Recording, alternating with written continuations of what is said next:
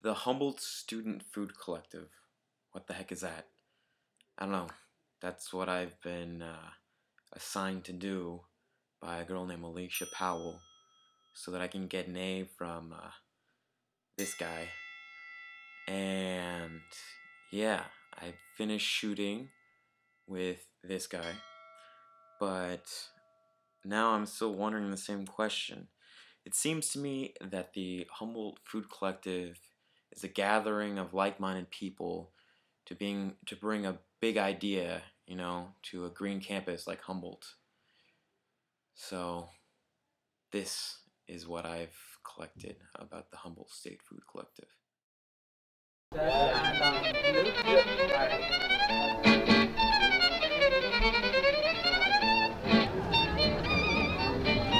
be like a good um, raw tortillas or something. Those right there. as students and whatever you're else doing next, you know, you're part of whatever that next step will be more than than people my age.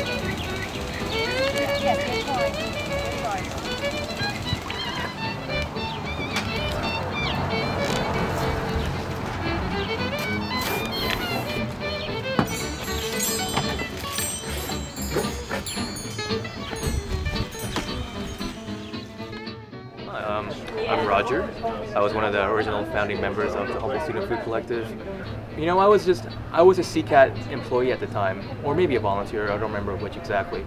But I was checking my email one day and there was this random message from this random group I've never heard of talking about wanting to build food cooperatives all over the, all over the country. And I thought, that'd be a cool idea.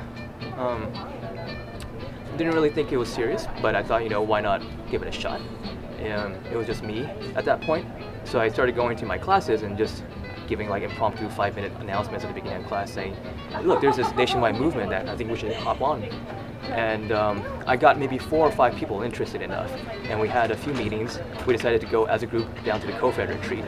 Um, that was in Sebastopol, and we just had a little mentorship gathering, essentially saying, this is what the plan is. Um, we're all just starting, but with your help, we can actually make it happen. And then we came back, and we kept working on it for the next few months, making very, very, very slow progress. Um, it was more a series of feel-good gestures in the actual in the actual work, but it got it got us motivated enough to keep recruiting other members, and from there we found Eric, Alicia, uh, Terry, and Diana, other people involved in the group, and um, over the next few years they would build it up into something much bigger. Cool. Thank Yeah. you, Roger. Thank you. So, uh, what was your name again? Sort of a J? Julia. That's.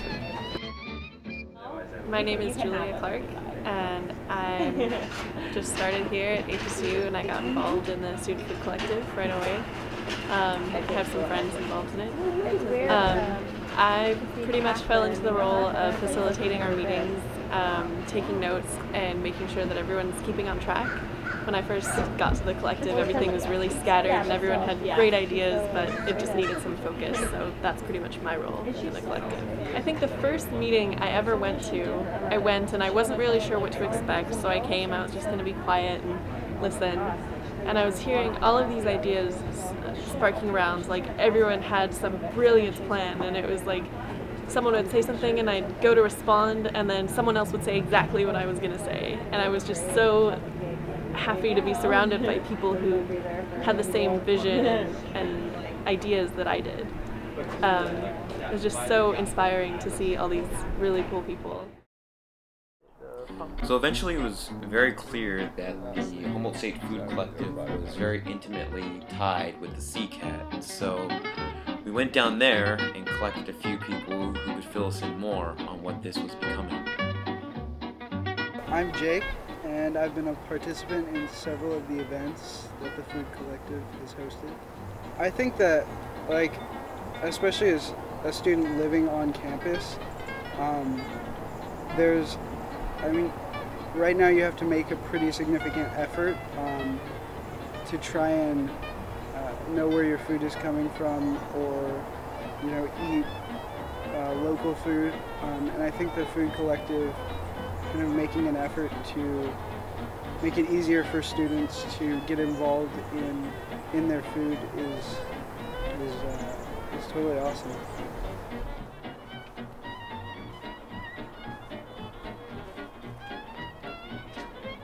I'm Victor, and I participate by helping out um, the HUMS meeting, and I help them with um, sort of coordinating um, the events and participating also in the events, which are really great. I got involved um, around December last year. Uh, I'm not a CR, I'm a CR student, but uh, since I've been coming, my friend introduced me with um, CCAT, and since then I just felt with, in love with the whole environment and the environmental impact they're trying to establish. It's like I, that's something I really want to be part of and continue. Uh, my name is Jacob Ferdman, and I am currently one of the co-directors at the Campus Center for Appropriate Technology, and uh, I've been involved in um, various ways with the Food Collective for the past couple of years. Um, the concept of the Student Food Collective is not to create a, a conventional business model, the conventional business model that the university uses, right? Um, instead, what they're trying to do is create something that is more of a cooperative, that's more um, horizontally run. The main priority of the food truck is to get really good food, real food, to students. That's the highest priority. Money is not the highest priority. Money is essential in making things run because that's the that's the society that we live in. But the primary objective is to get really good food from local farmers into the bellies of students so that they can expand their minds. My name is Eric Recchia. Uh, I'm one of the members of the Humboldt Student Food Collective. Uh, I've done a lot of work with them over the last few years. Different things like business planning and financials, uh, also doing organizing and helping out with different events. Um, one of the organizations that we're really modeling ourselves after, um, because they've proven to be very successful using this sort of student-based cooperative business model, is the Flaming Eggplant in Olympia, Washington, at uh, Evergreen State College, and they've been operating successfully since 2007 uh, completely in the model that we're looking at. They had four key members leave in one year, and you know, just because people were really cross-trained, because they had planned ahead to create institutional sustainability in their organization, it really went pretty easily. So one of the things that we're going to be very about is education. You know, we're going to be here's your farmer, here's who we bought it from, here's how they grow it, here's why you should support it, and then you know, making it like I said available to people at the same time too, not just like making it some really high thing that is some idealized standard that's not really available to people. So educating them about the differences and making it available. Um, I don't expect everybody on campus to really commit to, to eating this sort of food system, and we won't have the capacity for it anyway. And so, really, originally, we're going to be geared towards a specific group of the campus community that's interested in supporting this type of business, but at the same time, with that eye on education to try to create change institutionally, to, to show the university food system this is the way that they can be more sustainable too, and to show that there's a demand for it from the students at the same time. So I've been coming back to the CCAT for a couple days, and I had just one interview left, when out of nowhere, the drum circle came.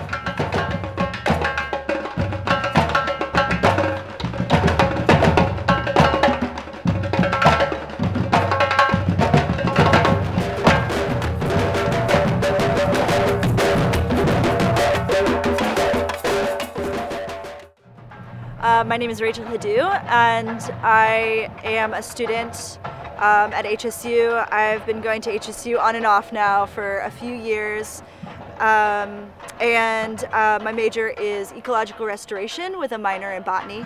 I have um, collaborated with the rest of the group in getting a successful work trade operation going between um, farms and one farm in particular, Wild Rose Farm, the one I work on, and um, and students. And we've had we had 30 students come to the farm uh, about a month ago to harvest quinoa, and um, it was it was beautiful because people were involved with their food and seeing where it was growing. And not many people actually get to harvest their own food.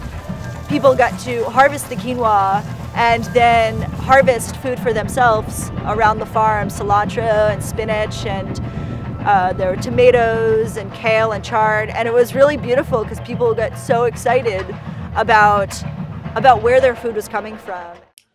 So at this point what the humboldt student food collective was striving to become was relatively clear. There was only a few pieces missing and i thought i could find them at the farmers market All right. Hi, I'm Mike Egan with Mycality Mushrooms, and uh, here at the Arcata Farmers Market, selling my uh, products. So why did you get involved with the Humboldt uh, Food Collective? Well, they approached me and you know, it just a, seems like a good idea as far as supplying local products with local people. What are some of the challenges of selling uh, such?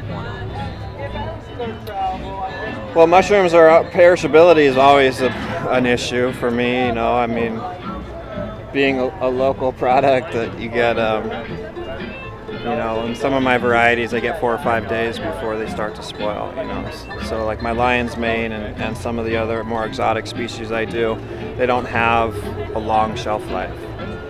So that's always a challenge, is you know, reaching your market. You know, it's. Uh, it's hard to get a product out of the area that's extremely perishable and being economical about it too you know you got to be competitive on the whole world wholesale market you know uh, hi, my name is Alicia Powell, and I'm a senior at Humboldt State University, anthropology and pre-med major. What are some of the challenges that'll come with running a business um, devoted to being completely organic? Well, one of the I think less of a challenge is, is it being a completely organic business. More is we are really focused on keeping as much of it local as possible. And it's really not going to be feasible for it to be 100% local, at least at this point in time, because we have a, you know, a growing season here that with our different microclimates, there are certain things that we just aren't going to be able to have here that people are going to want. You know, we're in California we want avocados we just can't get them local. Or different things like there's a great farmer at Warren Creek Farm. They do local beans, a whole big variety of beans, but it's going to be limited how much we're going to be able to get from that. So we are going to have to get certain things that are going to come have to come from a distance. Our buying policy is going to be that you know, local and organic is going to take precedence. And we have a rating system set up where we have a number of different factors of um, things like local, organic, sustainable, fair trade, and each of those things will be assigned a point system and we'll have a minimum number of points. So in other words, if something, you know, has a few factors but doesn't have a few of the other factors, depending on how many points, it, it's how we're going to rate our buying system. Is that making any sense? Sorry. no, that makes plenty sense. Um, but yeah, I don't actually think, and especially in this area, I mean, I eat pretty much I'd say 99.9% of my diet is organic. And it's doable and it's not that hard. I think what it is is shifting the way that you think about food. Through this video, I hope it's become abundantly clear of what the Humboldt Student Food Collective is. It's now more than an idea, it's, it's something tangible. And it's become this through the people who support it, people who have put their, you know, sweat, tears, and time into building something greater than themselves, to bringing something better to the Humboldt State campus. And in so doing, they've, you know, gained a lot of momentum as of right now. They have $1,500 in grant money, but they need support. They need people like you to join them, to rally together upon the greatest rallying point that humans ever known, which is food itself. So please, in any way you can, bring support to the Humboldt Student Food Collective. They'll need you. Thank you. One one coca full basket. Yeah. Yeah. Can you explain that meaning? It's just uh, you just it's an accumulation of things. You whatever you have, you start with what you have, and but you don't give up. You, you okay? This is a tiny little bush of mint, but in there there is hope. This yeah. is just my perfect um, let's say, um, let's use this as an hypothesis, but it's more than hypothesis, it's real. Um, I, my hope is in those green leaves. Yeah. It's only a few, but by nurturing this tiny amount of green leaves amongst this, these overwhelming dry ones, something good will come out of it. Yeah. So it's just don't give up on the little things that you have. Nourish them and get as much one thing and two things that you can and strive together to build something big out of it.